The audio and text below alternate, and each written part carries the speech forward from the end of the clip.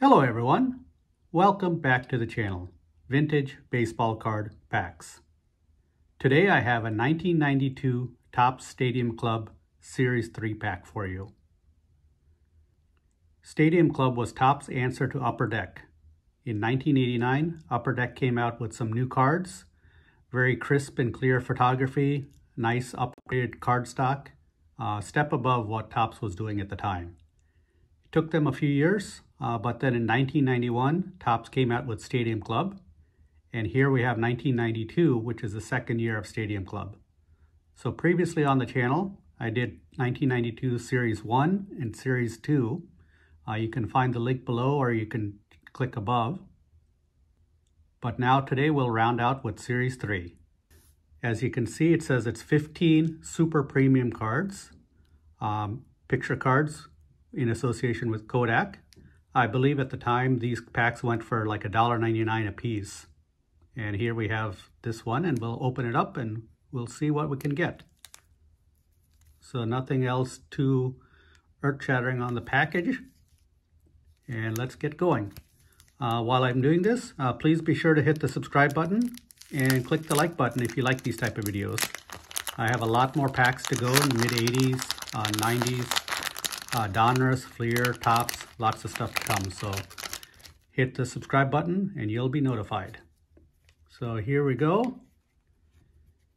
And let's flip these this way. And we have some type of giveaway, club membership 1992. And let's see what we got. So first, Al Newman. Then we got Ted Power, Pete Smith, Wade Taylor, Zane Smith, no Hall of Famers yet, Kirk McCaskill, Juan Guerrero, Pat Listach, Danny Gladden, Danny Tartabull. I think this is the best card we've got so far. Danny Tartabull. Then we got Dion James. Then we got Pete Incaviglia. And Wilson Alvarez.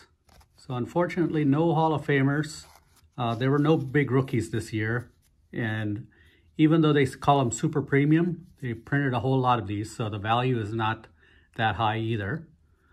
But we have a Danny Tartabull here, and so that's what we get from a Topps Series 3 1992 Stadium Club.